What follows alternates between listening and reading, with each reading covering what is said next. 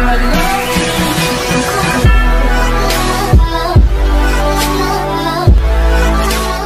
guys! Today's vlog, magluluto po tayo ng isang ulam na kayang-kaya ng ating bulsa. Let's start! Keep on watching guys! Ayan. Pakuluan po muna natin ang ating uh, kaine, laman ng baboy. Kaunti lang po.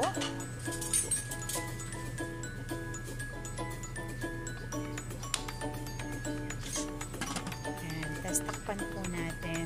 Then habang pinapalambot po natin yung karne, hiwahin na po natin yung yung tokwa na pinirito ko po kanina. Hiwahin po lang natin siya ng paglo.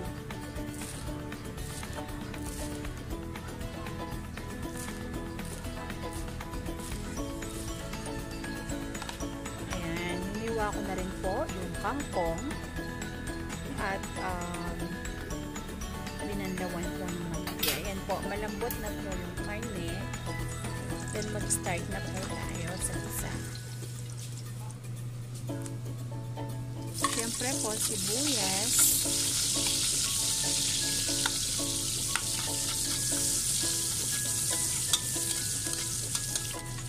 Bawang po. Tapos yung uh, siling haba o yung siling pangpaksiw. Then ilagay na po natin yung kaine na pinalambot natin para ma-toasted po na siya ng kamunti.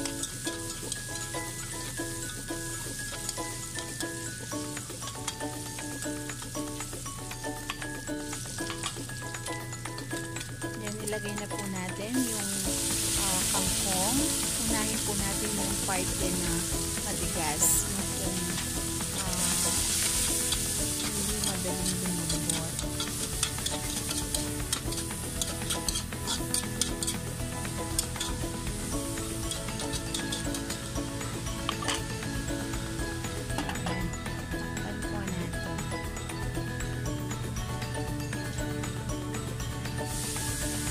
Huwag po natin siyang uh, maging malambot siya ng malambot. Mas masarap po or mas maganda po talaga yung medyo crunchy.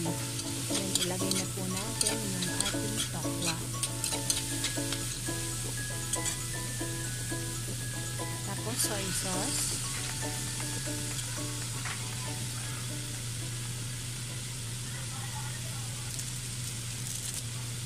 Uh, pampalasa oyster sauce.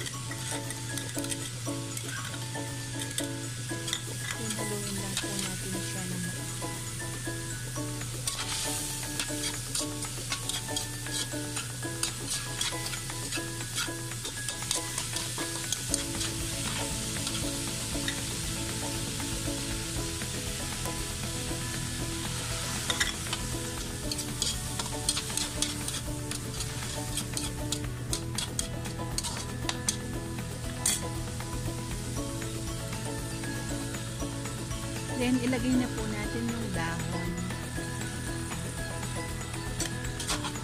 Madali lang pong lumambot yung dahon kaya sa huli ko na ano lang po ilagay lutuin.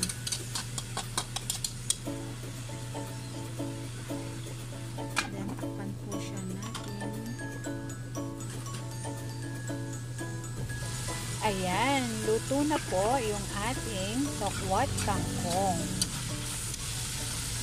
Tikman po natin.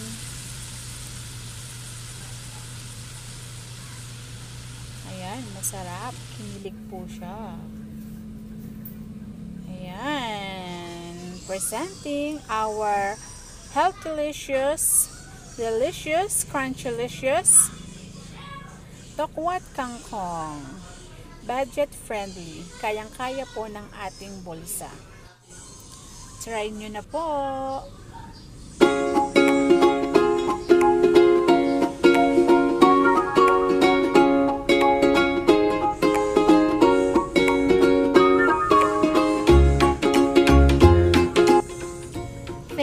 Watching guys.